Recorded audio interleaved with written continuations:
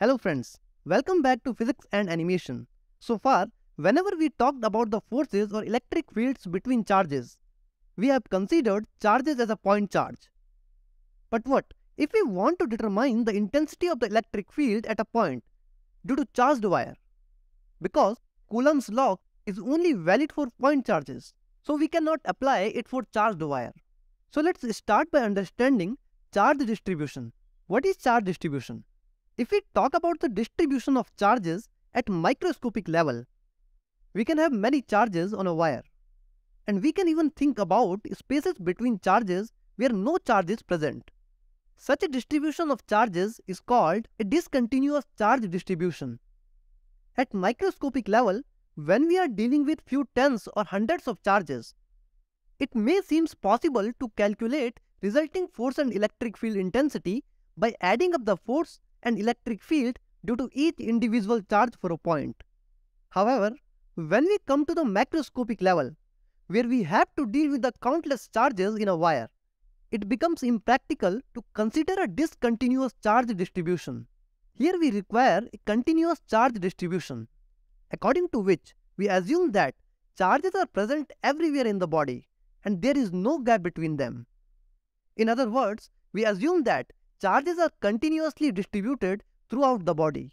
Okay, if it is so, we can consider a small element del L on a wire. This element may be quite small at the macroscopic level, but it would have a large number of charges on it, which is sufficient to define the charge del Q on the element.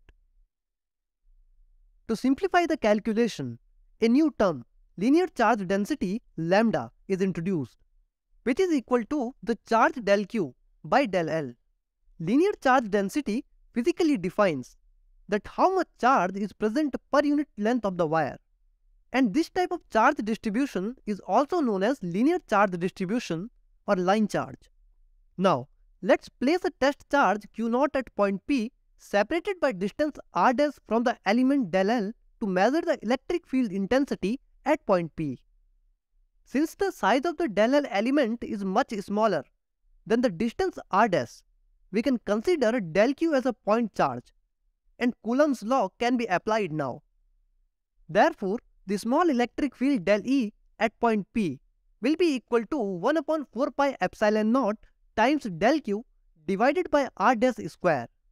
Using the formula of linear charge density, we can write the charge del q as lambda into del L. In the same way, we can consider a number of possible del L elements on the wire and by using vector sum and the principle of superposition, we can calculate the total electric field at point P due to the all del Q charges. This can also be expressed in a simplified way as electric field equals 1 upon 4 pi epsilon naught the summation all del L lambda into del L divided by r dash square. Since electric field is a vector quantity, we need to multiply the equation with the unit vector r cap to specify the direction. As we saw in the last video, if we multiply the electric field equation with test charge Q0, we got the equation for the total force acting on Q0 at point P due to the electric field.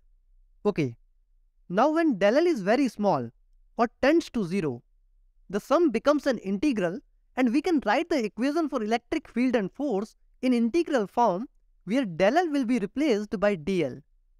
This is useful when we need to calculate the equation for electric field at a point due to a wire or line charge.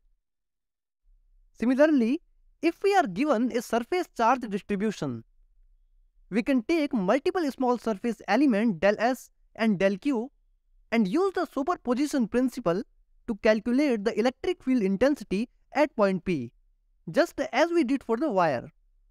Just as we used lambda to denote linear charge density, we will use sigma to denote surface charge density, which will be equal to del q by del s, indicating how much charge is present per unit area. This means that the electric field due to a surface charge will be equal to 1 upon 4 pi epsilon naught summation all del s sigma into del s divided by r dash square. Since electric field is a vector quantity, we will multiply it by unit vector r dash cap If del s tends to 0, we can write this equation in integral form by using ds instead of del s.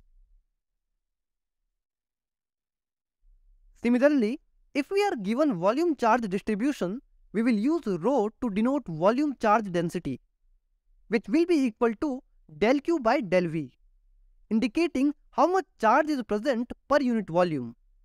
Now, in the similar way, we will use small volume element del v and their associated charge del q to calculate the resulting electric field at point P using the superposition principle, just as we did for the surface charge and line charge. Also, we can derive similar equations for volume charge distribution in summation and integral form as well. Essentially, Coulomb's law and the superposition principle allow us to calculate the electric field intensity at any point due to linear surface or volume charge distribution. So that's all for this video. Thank you so much for watching.